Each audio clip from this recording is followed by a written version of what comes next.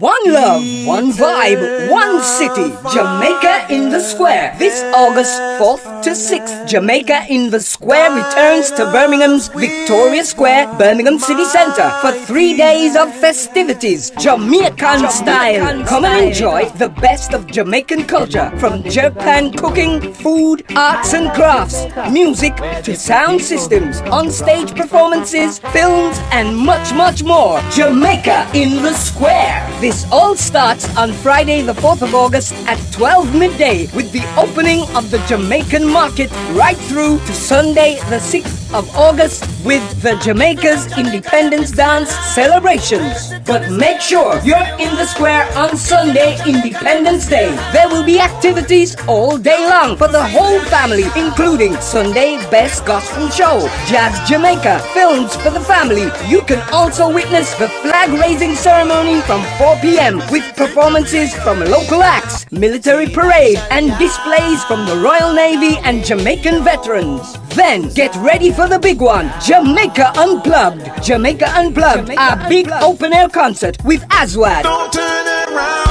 cause you're gonna see my heart breaking. Straight from Jamaica, Luciano.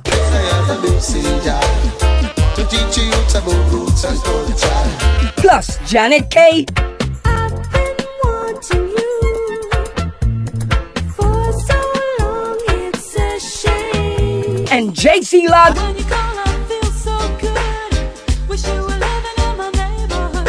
with many more. Showtime, 6 p.m. and it's all free. One love, one vibe, one city. Jamaica in the Square, August 4th to August 6th, Victoria Square, Birmingham. A weekend for the whole family. For more information, go to www.jamaicainthesquare.co.uk.